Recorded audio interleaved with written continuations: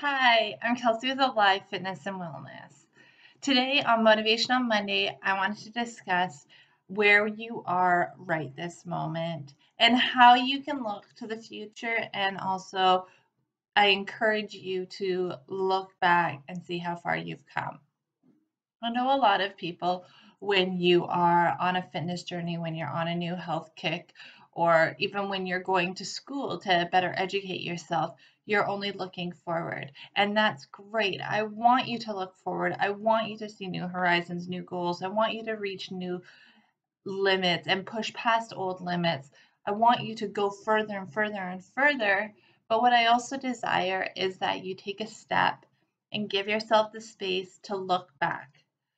And here we're not falling back. It's not that you're going two steps forward, one step back. It's that you're giving yourself that space, that time, and that energy to reflect on how far you have come. So every time when I'm talking to fitness clients, nutrition, wellness clients, and I'm saying honor where you are, it's because today is the only day that you will be at this moment. So honor that, enjoy it, and know that everything you do in the next few hours is going to make you stronger for tomorrow. Everything that you choose and everything that you do today will make you stronger for tomorrow. And this is where we look forward. But if you are going 100 miles a minute and you don't look back for three, four, five, ten years, you will never value the whole journey. You will never see how far you have come. You will never show gratitude to yourself for pushing yourself further and further. What's going to happen is you leave yourself susceptible to being burnt out, feeling exhausted, playing the should be games and playing I'm never enough games.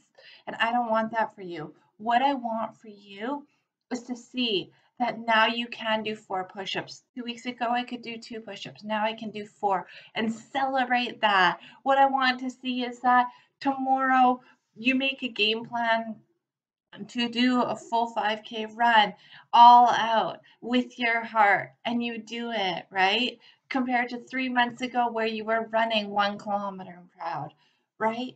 I want you to move forward, but then to also give your time yourself that space, that time, that energy to reflect on how far you have come.